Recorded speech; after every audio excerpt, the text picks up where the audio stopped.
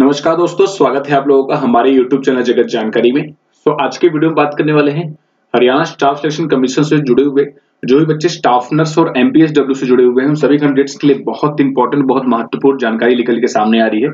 एक new update निकल के सामने आ रहा है कि फाइनली आखिरकार फाइनल रिज़ल्ट पे जो है कुछ नया अपडेट निकल के सामने आ गया है कि आप लोगों के फाइनल रिज़ल्ट जो है कब तक अनाउंसमेंट किए जाएँगे। उसके बारे में कुछ इन्फॉर्मेशन जो है निकल के सामने आई है। तो उनके बारे में पूरा डिस्कस करने वाले हैं, पूरी की पूरी बातों के बारे में बताने वाले हैं। तो वीडियो को लास्ट तक देखिएगा। वीडियो पसंद आए तो प्लीज़ वीडियो को लाइक करिएगा। शेयर कीजिएगा। चैनल को ज़रूर से ज़रूर सब्सक्राइब कर लीजिए। साथ साथ आप बेल आइकन को प्रेस करके ऑल पे क्लिक कर लीजिए।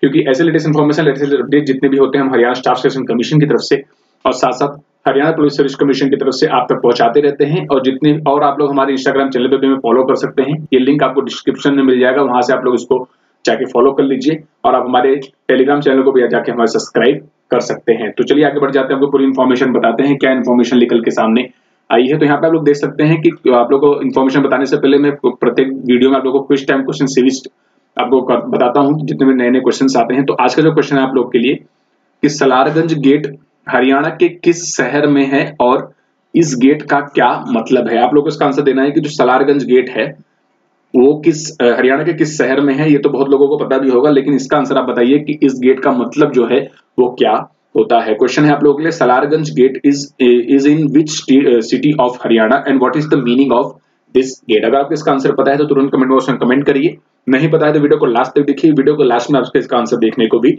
मिल जाने वाला है। तो चलिए वीडियो को स्टार्ट करते हैं, बताते हैं आपको क्या इन्फॉर्मेशन निकल के सामने आई है फाइनल रिज़ल्ट के ऊपर। देखिए, यहाँ पे मैं दो पॉइंट के बारे में आप लोगों से डिस्कस करूँगा point one and point two point one, point में आपको पूरा क्लियर हो जाएगा कि आपको रिज़ल्ट जो है कब तक अनाउंसमेंट किए जाने वाले हैं। तो देखिए, पॉइंट वन यहाँ पे जो आप लोगों को बताने वाला हूँ, वो ये है कि बेसिकली आप लोगों को, अब बहुत बच्चों को ये पता भी होगा कि कल एक वीडियो जो है वायरल हुआ था।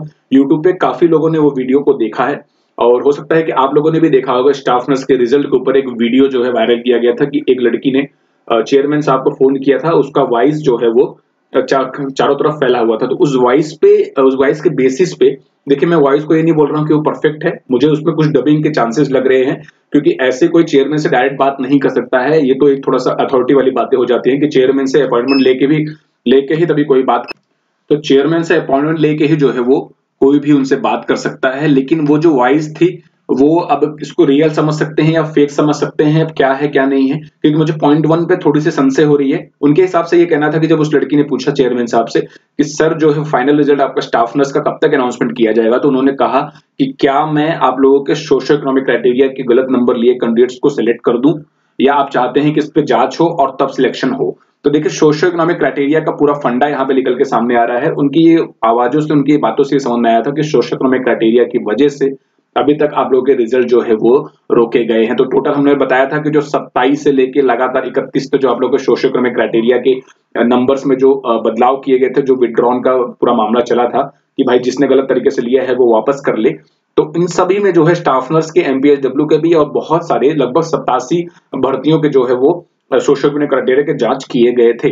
तो उस बेसिस पर उनका यह कहना था कि जनवरी तक जो है आप लोगों के रिज़ल्ट अनाउंसमेंट कर दिए जाएँगे। ये पॉइंट वन की तरफ़ से एक आसार मिली है कि जनवरी तक आप लोग के अनाउंसमेंट कर सकते हैं, लेकिन पॉइंट टू में एकदम साफ़ साफ़ कह दिया गया है कि रिज़ल्ट जो है आप लोग के अनाउंसमेंट कब तक किए जाने वाले हैं। तो यहाँ पे देख ले पॉइंट टू पॉइंट टू के बारे में आप लोग ध्यान से देख लीजिए।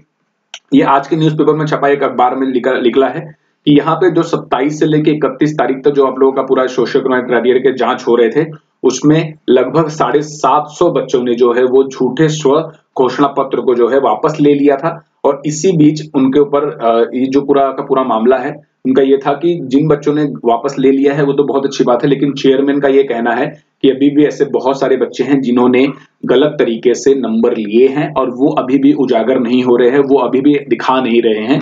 तो उनका ये मानना है कि लगभग जो छियासी वर्गों की है, दस हज़ार भर्तियों का मामला पूरा है तो उन्होंने कहा कि अन्य अभ्यर्थियों की जो जाँच जो जाँच होगी वो पटवारी और नंबरदार के हिसाब से कराई जाएगी। तो मतलब जिन जिन गाँवों में पटवारी और नंबरदार होते हैं, उनसे कहा गया है कि आप लोग जाइए वहाँ की जाँच करिए, पूरी इंफॉर्मेशन लीजिए। तो देखिए, इस न्यूज़ से जो है कुछ आसार समझ में आ रहे हैं कि सोशियो इकोनॉमिक क्राइटेरिया के नंबर गलत नंबर लेने की वजह से अभी तक लगभग लगभग सत्तासी पोस्टों की जो है वो भर्ती रोक दी गई है। तो अभी भर्ती रोक दी मतलब रिज़ल्ट रोका गया है। अभी क्या प्रोसेस होगा, क्या नहीं होगा, क्या इन्फॉर्मेशन आएगी, पूरी की पूरी आपको बताने वाले हैं। लेकिन अभी तक ये क्लियर हो रहा है कि सोशो इकोनॉमिक क्राइटेरिया के गलत नंबर लेने की वजह से अभी तक आप लोग के रिज़ल्ट में अनाउंसमेंट नहीं किया गया है। तो ये इन्फॉर्मेशन निकल के सामने आई थी आप लोग को मैंने बता दिया point one point two point one point two दोनों में से एक ही चीज़ क्लियर हो रहा है कि अभी आप लोग के रिज़ल्ट आने में कुछ समय और बाकी है। कब तक रिज़ल्ट आएगा, क्या आएगा, ये आप लोगों को पूरी इन्फॉर्मेशन बाद में, जैसे ही कुछ इन्फॉर्मेशन आती है, आपको तुरंत इन्फॉर्म किया जाएगा, क्योंकि काफ़ी बच्चे मुझे लगातार कमेंट कर रहे थे कि, सर रिज़ल्ट रिज़ल्ट रिज़ल्ट